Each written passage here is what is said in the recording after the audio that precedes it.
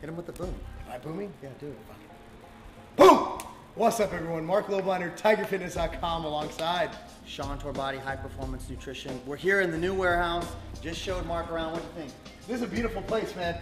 Uh, as you know from seeing my gym, I'm all about graffiti. It represents where I grew up, which is just about 50 minutes away from here without traffic, about 12 hours with traffic, down in Inglewood, California. That's where you saw me. So obviously, I love tagging. Yeah, this is actually drying right now. The guy just finished it up. Looks amazing. Does. Sets this whole room off. But that's not really what we're talking about. It's a prime time. What we're going to talk about is this big ongoing scandal right now with Prime Nutra, uh, one of the subsidiary companies of Blackstone, uh, wrapped up in that whole thing, and specifically as it relates to the main figurehead of the company, and as it turns out, yes, just a figurehead, uh, John Meadows, uh, and his post. So, what exactly happened?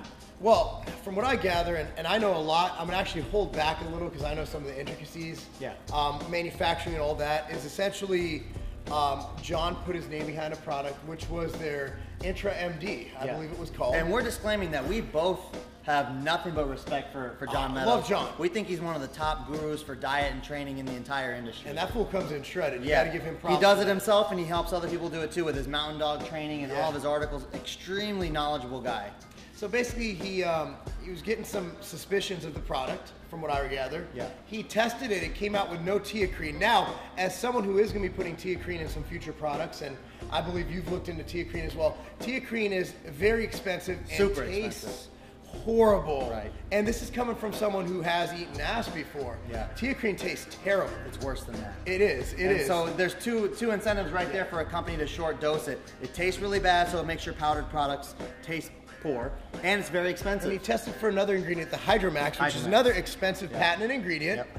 which came out at half that 44% of the dose. Yeah. And I get and he and even John stated in his post that he get he he's pretty sure that everything else would come out underdosed as well. Right, because that's the thing we talk about when it comes to protein too. If a company amino spikes, how in the hell are you going to use anything they Yeah. make ever again? You can't trust any of their formulations because you'd be silly to think that they're going to shortchange you on your protein knowingly and then on every other product be legit. That's the craziest thing I've ever heard. And, and the thing is, uh, uh, to state, there are more organizations like NSF. NSF isn't the only one, but Duracap is an FDA compliant facility, which means that their claim being FDA compliant means that if the FDA came in, they'd pass the test. Right. That's what FDA. It's basically I can say that my bathtub is FDA compliant. Nobody stamps that approval. Now, what NSF or other organizations like them, I can't remember the names. NSF isn't the only one.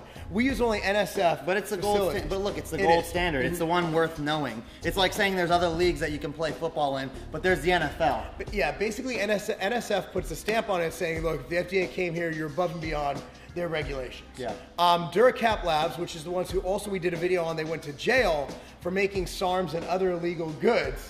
They were the ones making this product, which brings us to a whole nother thing. You know, if you're not NSF, if you're not getting those extra things done to verify your products have what's in there, can you trust them? And Sean, you were telling another thing about just knowing manufacturing. Right. So you have a guy like John who is an expert in diet and training. Great one. Knowing what it takes on the diet end, on the training end, and on the supplementation end, ingredient wise. He has put his name behind formulas that he thinks are efficacious and effective and well dosed.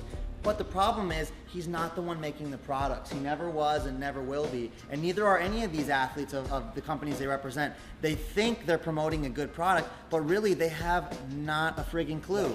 They're not involved in the ordering of the products, they're not involved in the manufacturing, and they're certainly not involved in the testing unless they take it into their own hands like John did. And as he found out, it's very expensive, thousands of dollars, so they're not doing it. And John, that shows a lot about him to actually test his own yeah. product. And- and to of- put it public, None of these other guys from that, I don't think it's called rips or something. Yeah. You think they test Yeah. any of their product? They don't know. They don't Tears, care. yeah, tears. Tears. so Yeah. so here's here's something to look at is they they had that going on. Now you got to look at who formulated it and who was in charge of this. That was PJ from Blackstone. Because he was basically private labeling line, if I'm not mistaken. Correct? Well, so he, he, you know, they've come out and said that this, that, and the other, but again, this is not to defame anyone, but more to say this concept of people that you uh, trust to take advice from on products, they have nothing to do with making the products. Whereas you have people like uh, Marc, uh, like myself, like Doug Miller, like Mike Rashid, we're directly involved in making our products. We are the manufacturer. We're not an athlete or a representative of a company.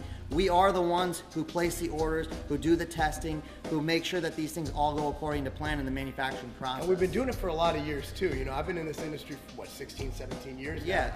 And you've been in, in this industry since you were like two. We started HPN in 2010, and I was involved uh, in the industry way before that on the retail level. So we know what we're doing, and it's a completely separate issue knowing what works ingredient wise and how to make it into an amazing product, a world class quality product. It's a completely different ballgame. Yeah. And we can mention other other scenarios going on. Like for example, I just read that affidavit from from Jim.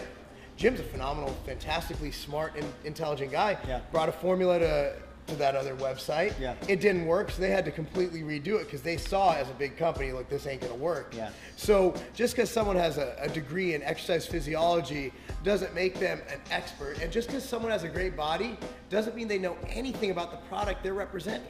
Usually it can cannot even mean the opposite. But Yeah. uh, anyway, what we're saying is you got to buy products from people you trust, and moreover, people you trust who you know are actually involved in making the products. Because it's one thing for someone to be a diehard waving the flag for a product, but if you know from that person's own uh, words or from asking questions that they have nothing to do with actually making the products, their trust and faith in that product can be completely misguided. So you need to pay attention to that. We're coming to you as CEOs who actually manufacture products and saying that when you use uh, an HPN product, an MTS product, a core product, an Ambrosia product, uh, you're getting exactly what you were supposed to get and nothing, nothing less and nothing that's unexpected. You know, that's what quality manufacturing is all about. And nothing goes also goes into living life. How many times have we seen people who own companies not even use their own products? Yeah. That's another thing. You got to find some people who actually use their own stuff. I Yeah. think that speaks volumes. It does. So that closes it out, guys. If you have any questions, feel free to comment below. Until next time, peace. That's not a game.